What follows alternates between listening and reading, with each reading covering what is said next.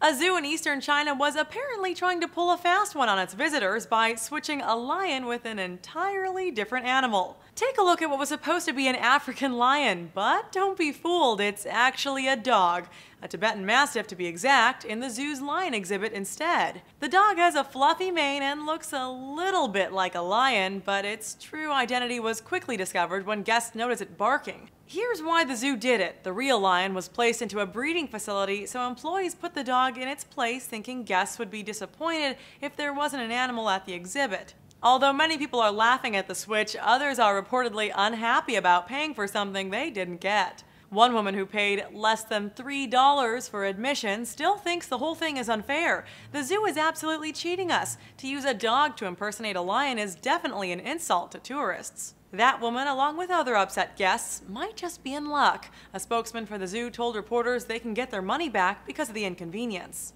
In the wake of the discovery, the zoo says it will also replace labels on exhibits to accurately reflect the animals inside, just to avoid something like this from happening again. The zoo allegedly has other animals that aren't the real deal. Visitors reported another dog inside a wolf cage, as well as a fox posing as a leopard. The zoo denies those claims. For Newsy, I'm Candice Aviles.